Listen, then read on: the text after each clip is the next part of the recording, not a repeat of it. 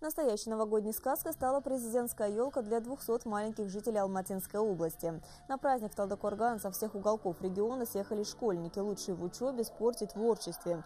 Среди них и воспитанники детских домов. Для них устроили новогоднее шоу с артистами цирка, зажигательными танцевальными и музыкальными номерами. Каждый ребенок получил подарок из рук Деда Мороза.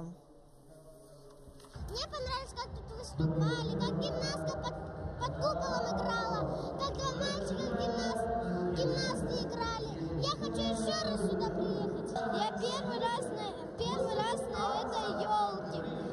все подружились, и очень хорошие, и очень хорошие подарки нам дали. Мы специально в течение целого года э, организовываем разные конкурсы.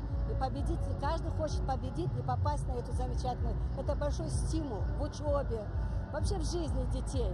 Пусть будет побольше таких замечательных праздников. Пусть дети верят в сказки.